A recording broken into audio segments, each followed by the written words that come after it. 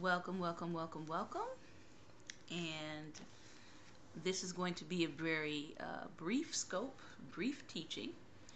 And um, I'm going to just go ahead and open up with prayer. Heavenly Father, thank you for your goodness. Thank you for your grace. Thank you for your loving kindness. Thank you for your tender mercies. Father, I pray that the words of my mouth and the meditation of my heart would be acceptable to you, Lord, because you are my strength and my redeemer. And so, Father, I thank you for this time before your people. I pray, God, that I would say something that would bring clarity um, to them and bring clarity about their place in life and their purpose. In Jesus' name, amen. So I pray that you all are having a wonderful evening. Thank you to uh, the replay viewers who will watch. Um, pray that you would also um, give hearts on the replay. And tonight I want to talk about something that I feel like as a leader and as someone who has been a follower, many people are afraid to ask. And the reason why I say this, welcome, Apostle. Uh, swipe and invite your followers if you would, please. Um, the reason why I say that this is one of those questions that I feel like many people are too afraid to ask in terms of leadership is because I get so many people inboxing me um, to pray for them in regards to this particular topic that I'm going to delve into in just a moment. So, um, tonight's topic is um, if you would swipe and invite your followers. The uh, topic tonight is leadership, the question that too many are afraid to ask. Um, a lot of times we talk about um, being a good follower, but we don't necessarily tell people or counsel them on what to do when you are being a good follower and you're not necessarily being led by a good leader. Um, and so the question comes up quite a bit. Um, and this is, you know, something that I've prayed with people about um, who actually do want to be mentored. They do want to be held accountable. Um, and they don't want to bring or be dishonorable right? And so the question then from them becomes what do you do when you desire to be mentored or you desire to be uh, held accountable and the very person who is overseeing you or leading you is the person that is causing the trauma in your life or it's the person that it seems as if they're in attack mode as opposed to mentor mode or opposed to discipleship mode. And of course, we know that part of that answer can be found in the scriptures. You know, if you look at um, Second Samuel, you look at First Samuel, if you look at the relationship that David had with Saul, I would say that that would probably be your best example, a very classic example of um, being in a place where he should have been, right? David should have been, uh, by all reasonable accounts, he should have been mentored by Saul because Saul was the very first king that God instituted. So David should have been able to uh, be under Saul, to learn about kingship, to learn about royalty, to learn about these different things, to learn how to carry himself, right, as a king. But instead, David finds himself being chased for 13 years, okay? And I do a whole teaching series on um, the life of a fugitive worshiper, worshiping God while you're on the run. But um, so we look at David's life and you say, David is supposed to be in a position to be mentored, right? Or to be groomed for kingship. But rather than being groomed for kingship, he actually spends most of his years on the run with his mighty men. He spends those years um, going from cave to cave, hiding out from Saul. And so, where is the time really for David to develop himself as a king? And so, when I look out and I see leaders who may seem immature or they may seem under underdeveloped, we've also got to go back and say, what kind of leader were they under? What kind of leadership were they under? Were they getting the proper grooming? Were they getting the proper training? Were they getting the proper undergirding? Or were they in a situation where you know they may have been under antagonistic leadership or they may have been under a jealous leader or an envious leader who chose not to pour into them the things that needed to be poured into them. And so I just want to leave you for those who are questioning, you know, what are you supposed to do when the person who's leading you is not fulfilling their responsibility of pouring into you? What do you do? Okay? There's three things that you can take away from the life of David. And again, like I said, if you read First Samuel and Second Samuel, um, one of the scriptures that kind of stuck out to me was Second Samuel chapter 1 verse 27 and it really is that ta- that picks up right after um, Saul goes to war and he is defeated and his son Jonathan as well is killed David says these words. He says, How are the mighty fallen and the weapons of war perished? How are the mighty fallen and the weapons of war perished? And as I began to think about that, I began to think about the fact that Saul spent the time that he could have been spent, he could have spent grooming David. He actually spent going on all of these different chases chasing the person he was supposed to be grooming. And then he also got caught up in unnecessary warfare. Unnecessary warfare. But David still calls him and ends his life by calling him a mighty man. So, some of the things you can learn from the life of David. There's three things I want to focus on when you find yourself in a situation where you're under a leader or you're you're in a leadership that may not be supportive of your call or may not be supportive of what God is calling you to do. The first thing you need to do is remain calm. Remain calm. I know that that can be hard, especially when you have a, a leader like Saul. In this case, with David, he was um, threatening. He sent people to kill him.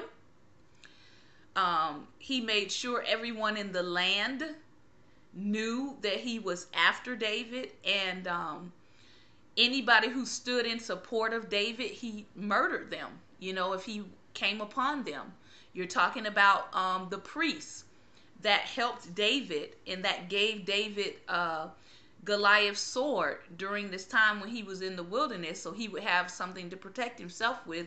Once Saul uh, caught up with those priests and found out that David had been there, he had the, all the priests murdered. And so, um, the first thing you want to do is you want to remain calm. Remain calm. Even in the midst of someone coming against you or someone persecuting you, you need to remain calm. You need to recognize that God is the one who is in control. No matter what that person thinks or says or does, God is still in control of the situation. Okay? He's still in control. You don't need to take matters or you don't need to take vengeance into your own hands. Number two, you need to remain honorable. Remain honorable. That means, and like I said today in one of my social media posts, if a person is operating in something that is dirty, if a person is operating and they are um, not of God, you don't need to get your hands dirty by being uh, confrontational, by doing a tit for tat, by attacking them the way they're attacking you, right? So the second thing is you need to remain honorable. In all the things that happened between David and Saul, there were a couple of times where David was pretty much letting Saul know that if I wanted to harm you, I could have done so, right? And there was even one time where David's conscience smote him because uh, some of his men basically got in his ear and tried to be and tried to spiritualize getting revenge on Saul. But David had to come back and say, Who am I to touch or lay hands on God's anointed? Why? Because what David was going to sow, David was also going to reap. And so, even when the person may be acting or responding in a dishonorable way, if you sow honor, you're going to reap honor. If you sow dishonor, you're going to reap dishonor. And so, again, it comes back to what is your reaction and what is your response, regardless of what is coming against you. So, number one, remain calm. Number two, remain honorable. Number three, remain in purpose. Remain in purpose. Don't allow what is coming against you through a leader. Don't allow it to get you off course. Don't allow it to get you off purpose. Because regardless of how that leader felt, regardless of how Saul felt about David, whether he saw him as a threat to his kingdom, the reality was God had already established a prophetic word that said that David would rule as king one day. He had already been anointed. He was actually anointed three different times. He was anointed um, in front of his brothers. He was anointed, I believe, for part of the kingdom of Israel, and then again once he had uh, rulership over the entire kingdom. So it really didn't matter. Saul's judgment of David did not matter in the long run, right? Because God had already established David's purpose. So if someone is coming against you in a negative way, you have to remain in purpose and not allow that negativity and not allow that attack to throw you off course from where God has said that you are to go. So, the three things we're talking about tonight, the question comes to me several times, and I've prayed people through this. Uh, what do you do when you're trying to be mentored and you're trying to be held accountable to your leader, yet your leader is the one who is attacking you? The leader who is supposed to be grooming you is the one who's actually coming against you. So, the first thing we talked about is remain calm. Don't allow what is happening to throw you off course emotionally, spiritually, mentally. Don't allow it to get you off course. Number two, remain honorable. Remain honorable because you're going to reap what you sow. You're going to reap what you sow. Therefore, what you sow cannot be contingent upon what that person is doing. What you sow has to be contingent upon your understanding that you're going to reap what you sow. You're not going to reap what they sow. You're going to reap what you sow. And number three, remain in purpose. Don't stop doing what God has called you to do. Um, if you find yourself in a situation where you know you feel like you cannot talk to that leader or you cannot um, confide in that leader because of the that spirit that may be upon them of Saul, pray, ask God to to set a multitude of counselors around you. But I would also say in that to um, not disparage the character of the person who may be coming against you. God may release you from that leadership, and of course, you would do that with prayer. But even in God releasing you from leadership or oversight, make sure, again, that you are sowing honor because you don't have to leave a leadership in dishonor. You don't have to disconnect yourself in a dishonorable way. And unfortunately, um, in the body of Christ, too many times that does happen. So, the other side of this coin is what if you're the leader who's dealing with this jealousy? What if you're the leader who's dealing with the insecurity? What if you're the leader who sees the person who's supposed to replace you, but you have a problem with it, right? You might be the leader that says, um, I don't want to let go or I don't want to groom them.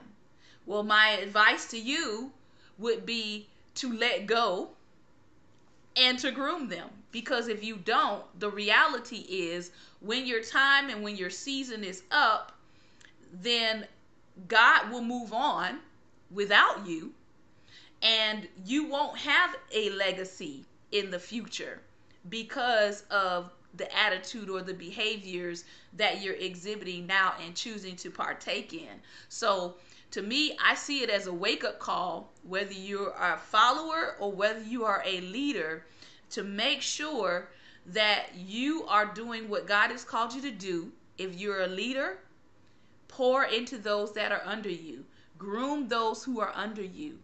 Um, don't harbor what you are supposed to be pouring out. If you have people under you that, that are your sons and that are your daughters, do the work. Don't just allow them to languish without being poured into. Um, it's very important that as a leader, if you're going to take on that responsibility, that you too will be held accountable for what you did or did not pour into the people that were under you that you were supposed to disciple. God is going to hold us accountable for the souls that He has given us oversight and care of. As a follower, again, remain calm, remain honorable, remain in your purpose. So I pray that this um, has been helpful to you. I pray that you would share it. Um, and I pray that you would, would consider doing exactly what the word encourages us to do. Um, I know one of my uh, ministry co-laborers earlier today. She did a uh, um, Periscope, I believe, or uh, Facebook Live on honor. It is so important in the body of Christ that we begin to restore honor to these offices. It's hugely important and imperative to restore honor to these offices. No, you may not always agree with a person or their leadership. You may not, you may even clash with their leadership style. But that doesn't mean that you have to be dishonorable. If they're not operating in heresy, if they're not doing something ungodly, if they're not leading people in the way of hell, then honor them honor them. Another gentleman today um, on Periscope, and, and I'm actually going to take him at his word on what he suggested. I do it anyway, but I'm going to really, really, really push it um, in the month of May, and that is exposing the good. Exposing the good. I'm going to be going through my friends list and I'm going to be looking for people who have businesses, who have ministries and I'm going to be every day I'm going to try to expose the good of at least one to two people through my social media, promote them, honor them, bless them, thank them, uh, tell them what they have meant to my life personally, and encourage people to support their work, whether it's ministry, whether it's a business idea, um, whether it's you know because i know some people who are missionaries to support you know their missions trips and different things like that. But i'm going to be more intentional about doing it coming this month of may. So i am uh, going to participate and take that challenge of exposing the good exposing the good. We have so many different capabilities with this thing called social media and we need to take greater advantage of it by doing good, by exposing good, by putting good out in the world. So I pray that you are blessed tonight by this message. Um, it is a question, like I said, that many people are afraid to ask. Um, many people are feeling very oppressed by their leadership. And that just should, to me, that just should not be so. Um, so I wanted to take time to come and address it in a video, and hopefully um, it will help not only those who have been uh, seeking prayer for this this particular thing, but I hope it will help other people in general. So pass this on and uh, take care. Have a great evening and God bless.